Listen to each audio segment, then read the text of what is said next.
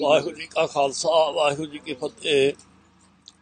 ਅੱਜ ਜਿਹੜੀ ਜ਼ਿਲ੍ਹੇ ਪਟਿਆਲਾ ਸਨੌਰ ਰੋਡ ਤੇ ਬਹੁਤ ਭਾਰੀ ਦੁਖਦਾਈ ਘਟਨਾ ਵਾਪਰੀ।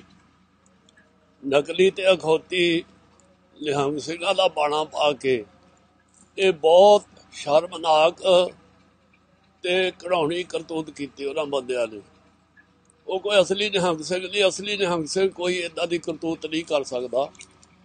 ਜਿੰਨੀਆਂ ਵੀ ਜਥੇਬੰਦੀਆਂ, ਨਿਹੰਗ ਸਿੰਘ ਜਥੇਬੰਦੀਆਂ ਬੁੱਢਾ ਦਾਲ ਮਿਸਲ ਸ਼ਹੀਦ ਦਾ ਤਾਲਨ ਦਲ ਹਰੀਆ ਮੇਲਾ ਜਥੇਬੰਦੀ ਤਾਲਨ ਦਲ ਬਾਬਾ ਬਕਾਲਾ ਸਾਹਿਬ ਦਲ ਪੰਥ ਬਾਬਾ ਬੀਦੀ ਚੰਦ ਜੀ ਤੇ ਹੋਰ ਪਰਮਾਨੰਤ ਜਥੇਬੰਦੀਆਂ, ਉਹਨਾਂ ਦੇ ਸਾਰੇ ਸਿੰਘ ਡਿਸਪਲਿਨ ਵਿੱਚ ਆ, ਜਦੋਂ ਦਾ ਲਾਕਡਾਊਨ ਹੋਇਆ, ਉਦੋਂ ਤੋਂ ਅਸੀਂ ਸਾਰੀ ਜਥੇਬੰਦੀਆਂ ਨੇ ਆਪਣੇ ਸਾਰੇ ਸਿੰਘਾਂ ਨੂੰ ਚਾਹੇ ਕੋ ਘਰ 'ਚ ਰਹਿੰਦਾ ਕਿਰਤ ਬਿਰਤ ਕਰਦੇ, ਚਾਹੇ ਕੋ ਸਾਡੇ ਸਥਾਨਾਂ ਤੇ ਰਹਿੰਦੇ, ਸਾਰਿਆਂ ਨੂੰ ਚੰਗੇ ਸ਼ਬਦਾਂ 'ਚ ਕਰੜੇ ਸ਼ਬਦਾਂ 'ਚ ਬੇਨਤੀ ਕੀਤੀ ਆ ਕਿ ਕਿਸੇ ਸਿੰਘ ਨੇ ਬਾਹਰ ਨਹੀਂ ਜਾਣਾ ਤੇ ਲਾਕਡਾਊਨ ਦਾ ਪੂਰਾ ਪੂਰਾ ਜਿਹੜਾ ਪਾਲਣ ਕਰਨਾ ਤੇ ਹਰ ਤਰ੍ਹਾਂ ਨਾਲ ਆਪਣਾ ਤੇ ਬਾਕੀ ਦਿਆਂ ਦਾ ਧਿਆਨ ਰੱਖਣਾ। ਇਹ ਜਿਹੜੇ ਇਦਾਂ ਦੀ ਕਰਤੂਤ ਕਰਨ ਵਾਲੇ ਆ, ਉਹ ਤਾਂ ਆਪਣੀ ਰੋਜੀ ਰੋਟੀ ਦਾ ਸਾਧਨ ਬਣਾ ਕੇ ਕਿਤੇ ਬੈਠ ਕੇ ਬਾਣਾ ਕੋਈ ਵੀ ਪਾ ਲਵੇ ਪਰ ਨਿਹੰਗ ਸਿੰਘ ਹੋਣਾ ਬਹੁਤ ਔਖੀ ਗੱਲ ਆ। ਅਸਲੀ ਤਾਂ ਨਕਲੀ ਦੀ ਕਿਸੇ ਕਿਸੇ ਨੂੰ ਪਛਾਣ ਹੁੰਦੀ ਆ। ਇਹ ਨਕਲੀ ਨਿਹੰਗ ਸਿੰਘਾਂ ਨੇ ਜਿਹੜੀ ਕਰਤੂਤ ਕੀਤੀ ਆ, ਇਹਦੇ ਨਾਲ ਨਿਹੰਗ ਸ਼ਬਦ ਜੁੜ ਗਿਆ ਤੇ ਸਾਰੇ ਸੰਸਾਰ ਤੇ ਗਿਆ। ਤੇ ਉਹਦਾ ਬਹੁਤ ਮਾੜਾ ਮੈਸੇਜ ਗਿਆ ਵੀ ਨਿਹੰਗ ਸਿੰਘ ਇਦਾਂ ਵੀ ਕਰ ਸਕਦੇ ਆ, ਪਰ ਉਹ ਨਿਹੰਗ ਸਿੰਘ ਸਿਗੇ ਨਹੀਂ।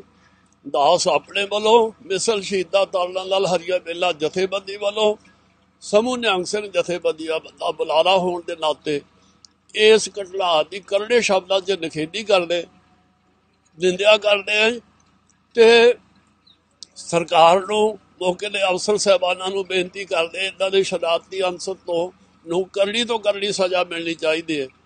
ਦੂਸਰਾ, ਸਾਡੇ ਵੀਰ, ਚਾਹੇ ਉਹ ਪੁਲਿਸ ਵਿੱਚ ਆ, ਚਾਹੇ ਡਾਕਟਰ ਸਹਿਬਾਨ ਆ, ਅਫਸਰ ਸਹਿਬਾਨ ਆ, ਉਹ ਆਪਣੀਆਂ ਜਾਨਾਂ ਨੂੰ ਮੌਤ ਦੇ ਮੂੰਹ 'ਚ ਪਾ ਕੇ ਸਾਡੀਆਂ ਜਾਨਾਂ ਦੀ ਰਾਖੀ ਕਰਦੇ ਉਹਨਾਂ ਦੇ ਉੱਤੇ ਇਦਾਂ ਦੇ ਹਮਲੇ ਕਰ ਲਏ ਇਹ ਲੋਕ ਸਿੱਖੀ ਤੋਂ ਤਾਂ ਬਹੁਤ ਦੂਰ ਆ ਨਿਹੰਗ ਸਿੰਘ ਹੋਣਾ ਤਾਂ ਇੱਕ ਪਾਸੇ ਰਹੀ ਗੱਲ। ਇਸ ਕਰਕੇ ਬਹੁਤ ਦੁਖਦਾਈ ਘਟਨਾ ਵਾਪਰੀ ਹੈ।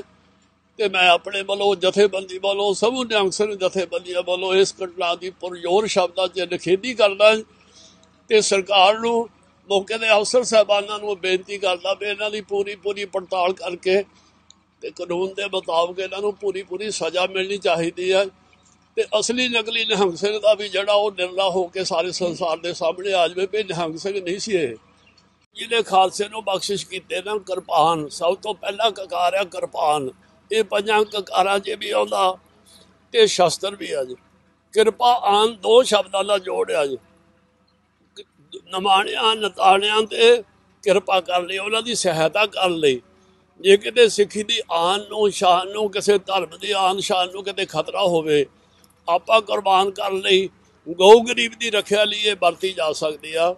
ਬਾਕੀ ਸਮਿਆਂ 'ਚ ਇਹ ਸ਼ਾਸਤਰ ਪੂਜਨੀਕ ਸਮਝ ਕੇ ਜਹੰਗ ਸਿੰਘ ਜਿਹੜੇ ਆ, ਸਾਰੀ ਗੁਰੂ ਕੀ ਫੌਜ ਇਹਨਾਂ ਨੂੰ ਧੂਫ ਦਿੰਦੇ ਆ, ਮਾਂਜਦੇ ਆ, ਮੱਥਾ ਟੇਕਦੇ ਆ, ਗੁਰੂ ਸਾਹਿਬ ਦੀ ਹਜ਼ੂਰੀ 'ਚ ਸਜਾਉਂਦੇ ਆ ਇਸ ਕਰਕੇ ਰਵਾਇਤੀ ਹਥਿਆਰ ਜਿਹੜੇ ਆ, ਅੱਗੇ ਪ੍ਰਾਤਨ ਸਮਿਆਂ 'ਚ ਹੁਣ ਵੀ ਸੀ। ਆ ਥੋੜੋ ਚਿਰ ਤਾਂ ਪਤਾ ਨਹੀਂ ਕੀ ਹੋ ਗਿਆ, ਵੀ ਜਿਹੜੇ ਨਿਹੰਗ ਸਿੰਘ ਦਲਾਂ ਦੇ ਅਮਰਧਾਰੀ ਸਿੰਘ ਹੁੰਦੇ ਸੀ, ਉਹਨਾਂ ਨੂੰ ਅਸੀਂ ਆਇਡੈਂਟੀ ਕਾਰਡ ਜਾਰੀ ਕਰਦੇ ਸੀ। ਉਹ ਵਰਸ਼ਾ ਤੇ ਕਿਰਪਾਨ ਰਵਾਇਤੀ ਹਥਿਆਰ ਉਹ ਰੱਖ ਸਕਦੇ ਸੀ।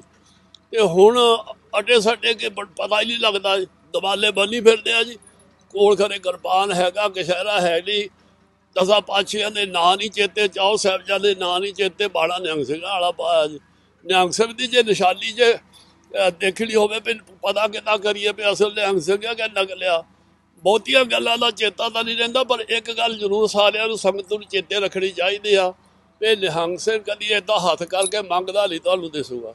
ਜੇ ਕਿਤੇ ਮੰਗਦਾ ਹੋਇਆ, ਬਾਣਾ ਪਾ ਕੇ ਤਾਂ ਸਮਝੋ ਅਸਲੀ ਨਿਹੰਗ ਸਿੰਘ ਨਹੀਂ ਨਕਲੀ ਹੈ ਜੇ ਕਿਸੇ ਗਊ ਗਰੀਬ ਤੇ ਬਿਨਾਂ ਕਿਸੇ ਕਾਰਨ ਤੋਂ ਹੱਥ ਚੱਕਦਾ, ਸ਼ਾਸਤਰ ਚੱਕਦਾ, ਉਹ ਵੀ ਨਿਹੰਗ ਸਿੰਘ ਨਹੀਂ।